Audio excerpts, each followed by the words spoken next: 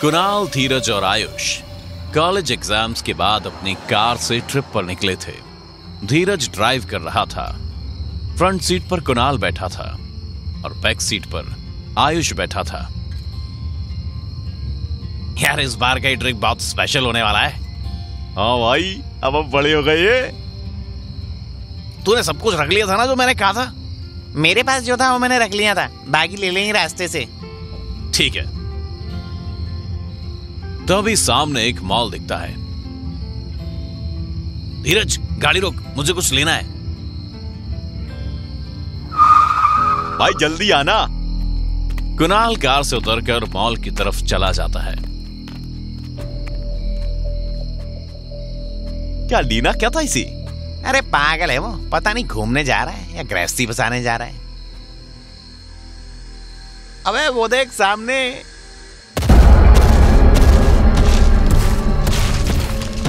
वो क्या है? ए, लग तो कोई खम्मा रहा है। खम्मा चलने कब से लगा भाई? ऊपर देख लगता है सायरन लगी हैं। ए, हो सकता है कि यहाँ के लोग कोई फ़ंक्शन कर रहे हो और कोई और रीजन से सायरन ले जा रहे हो। हाँ हो तो सकता है। तभी कुणाल आकर गाड़ी में बैठता है। उसके हाथ में गन होती है। भाई ये क्या लाया तू? हम कोई शिकार करने जा रहे हैं क्या? अरे वो बिल्डिंग काउंटर पर उन्होंने कहा कि सर ये ले लीजिए। आपको आगे ज़रूरत पड़ेगी। ये एरिया बहुत खतरनाक है। ये गन कौन सी है? लेजर। यहाँ सायरन पिलर है क्या? ये क्या होती है? वो हॉलीवुड मूवीज़। अरे भाई तू मूवीज़ कम देखा ठीक है? धीरज गाड़ी स्टार्ट कर देता है। और वो लोग आगे बढ़ जाते हैं। तभी सायरन की आवाज़ आती है। लगता है आसपास कोई फैक्ट्री है। पर ये आवाज़ थोड़ी अलग है भाई। ना तो एंबुलेंस जैसी है, ना पुलिस जैसी। इंडस्ट्री वाली भी अलग होती है। ये कौन सी है? तभी धीरज झटके से गाड़ी रोक देता है। उन्हें ज़ोर का झटका लगता है। वो लोग नज़रें उठाकर देखते हैं। तो उनके सामने दो लंबी लंबी टांगे होती हैं जो पतले पिलर्स जैसी दिखती हैं। ये क्या बोला है?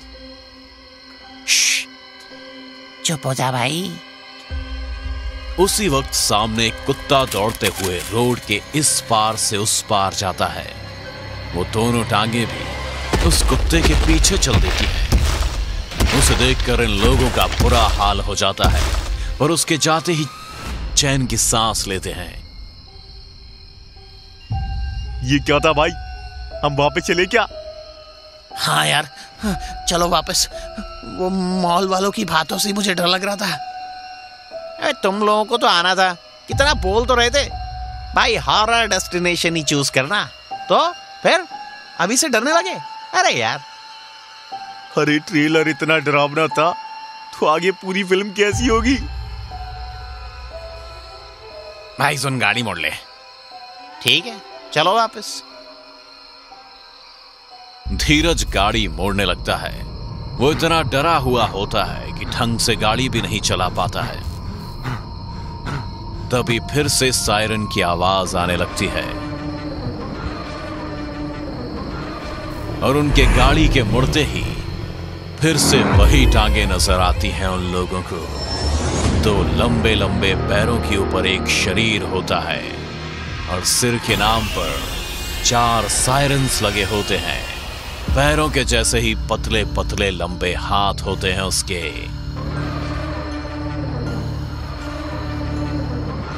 वो इनकी कार को हाथ में उठाकर खिलौने की तरह ऊपर नीचे करने लगता है। कार के दरवाजे खोल देता है। और जैसे ही ऊपर नीचे करता है, ये लोग नीचे ज़मीन पर गिर जाते हैं। ऊपर से गिरने के कारण चोट तो लगती है। पर जान की फ़िक्र में उठकर भागने लगते हैं। आयुष के ऊपर लेजर गन गिरती है। तो वो उसे लेकर भागता है। भागते भागते कब जंगल में घुस जाते हैं ये। उन्हें पता ही नहीं चलता। आयुष तूने हमें फंसा दिया। यार मुझे नहीं पता था यार ये जगह इतनी खतरनाक होगी। अगर हम मर गए तो। अरे भागो यहाँ से। अगर वो आया तो लेजर गन से हम उसे मार देंगे। फिर से वही सायरन की आवाज़ आने लगती है। जंगल के पेड़ों के बीच फिर वही टांगे लोगों को दिखने लगती हैं। ये लोग पत्थरों की आड़ में छुप जाते हैं।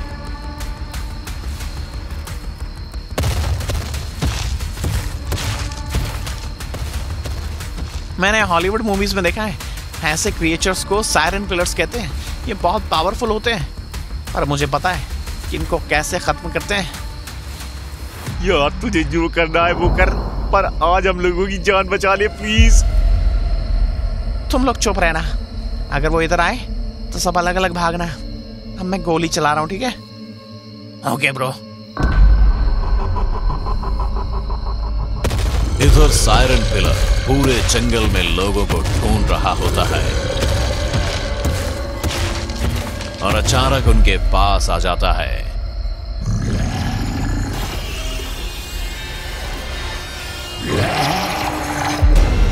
आयुष पत्थर की आड़ से लेजर गन शूट करता है। सायरन हेड का एक सायरन फट जाता है। वो पागल होने लगता है। दर्द से चीखने चिल्लाने लगता है। उसके चीखने से सायरन की आवाज़ इतनी तेज हो जाती है कि इन लोगों के कान फटने लगते हैं। इन लोगों को वो पागलों की तरह ढूँढने लगता है। जिधर से गोली चल होती है, उधर वो जाता है। ये तीनों भाग रहे होते हैं। वो अपने बाएँ हाथ में तीनों को उठा लेता है। आयुष लगातार लेजर गन चलाने लगता है। उसके तीनों सायरन्स को टारगेट करता है। उसका निशाना बिल्कुल सही लगता है। सायरन पिलर के सायरन्स ब्लास्ट कर जाते हैं। साथ में ये लोग भी उस ब्लास्ट में उड़ जाते हैं।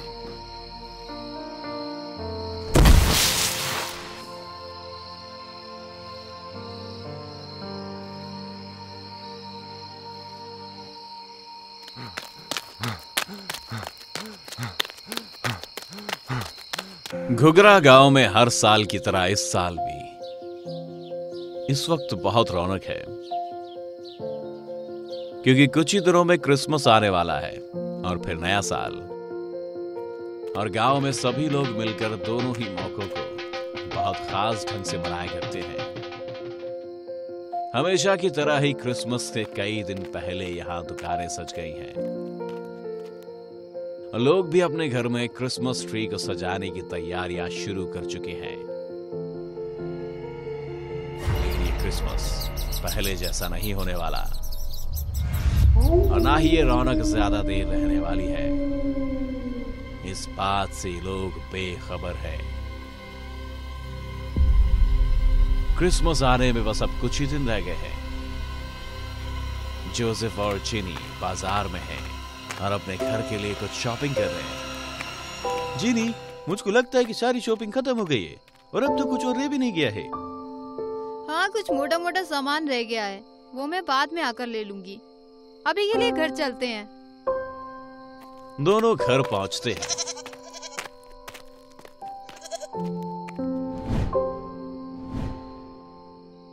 इधर अपनी अपनी दुकानें बंद करके सभी दुकानदार भी घर पहुँचते हैं। रात का वक्त है। क्रिस्टल अपने घर पर सोई हुई है। और तभी अचानक दरवाजे पर दस्तक होती है। इस वक्त कौन होगा? शायद कोई पड़ोसी ही होगा। देखती हूँ।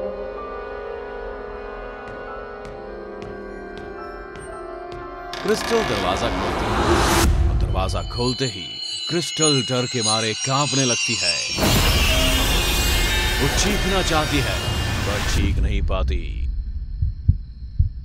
दरवाज़ा अपने आप बंद हो जाता है और अंदर आती है एक भयानक सी चुड़ैल, जिसकी आँखें लाल हैं, बाल सफ़ेद हैं और वो ज़ोर ज़ोर से हंस रही है।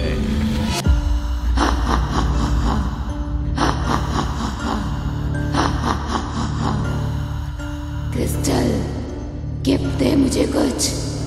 मैं यहाँ कुछ गिफ्ट लेने आई हूँ। देना। क्या हुआ? कुछ नहीं दे पा रही है तू। चल मैं खुद ही गिफ्ट ले लेती हूँ। ऐसा कहकर चुड़ैल? क्रिस्टल का गला दबाती है। छोड़ो मुझे छोड़ो। मैं मरना नहीं चाहती। मुझे छोड़ दो। ऐसे कैसे?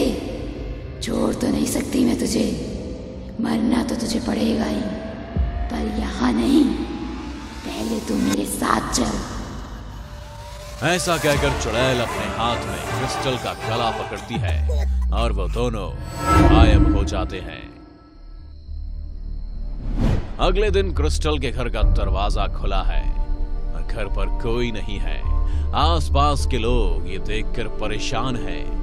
समझ नहीं पा रहे कि क्रिस्टल कहाँ चली गई। क्रिस्टल के पड़ोसी आपस में बात कर रहे हैं। अरे ये क्रिस्टल बिटिया कल रात तक तो हमने उसे देखा था। ऐसा कहाँ चली गई?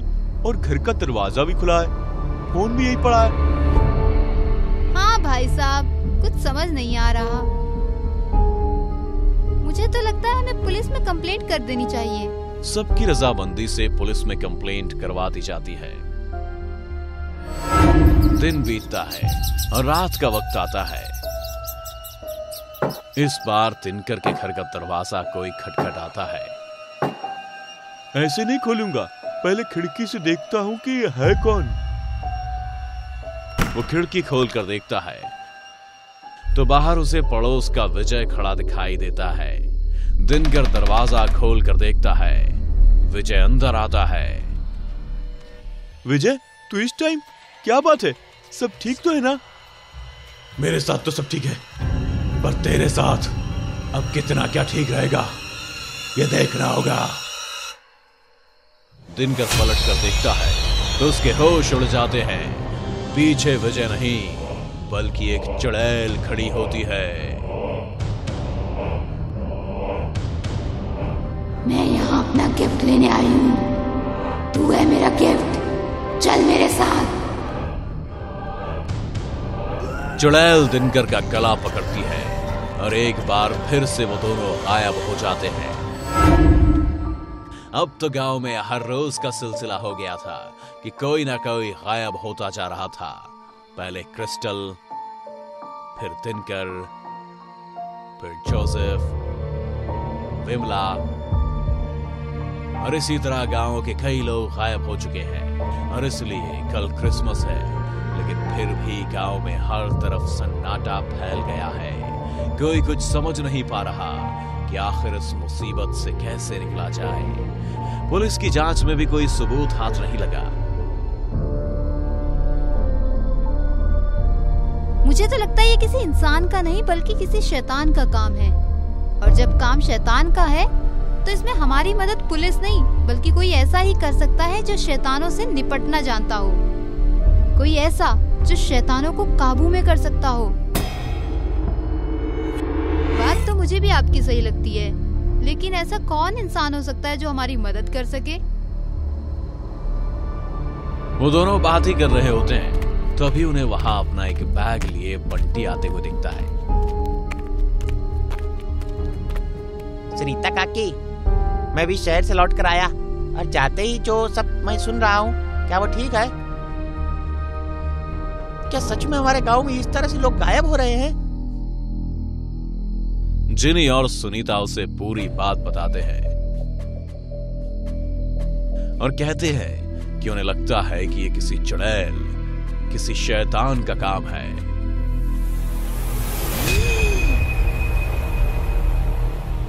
तो फिर तो हम सबकी मदद मोमबत्ती वाले बाबा ही कर सकते हैं जिन्हें अपनी मोमबत्ती की रोशनी में सारी चुड़ैल, भूत दिखाई देते हैं। और वो उन्हें जलाकर राख कर देते हैं। मैं अभी उन्हें फ़ोन करके यहाँ आने के लिए रिक्वेस्ट करता हूँ।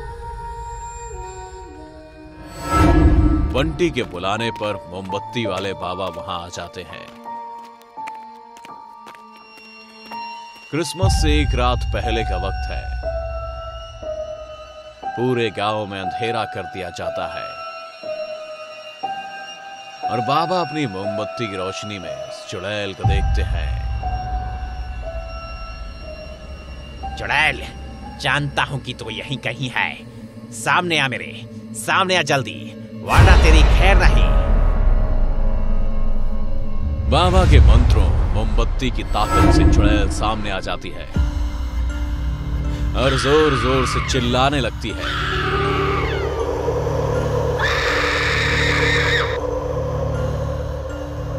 क्यों बुलाया मुझे यहाँ?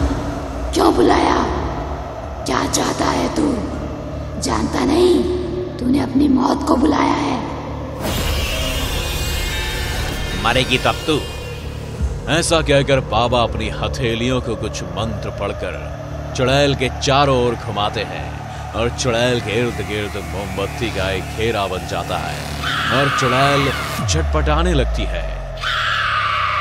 बाबा ये तूने ठीक नहीं किया। ठीक नहीं किया तूने ये।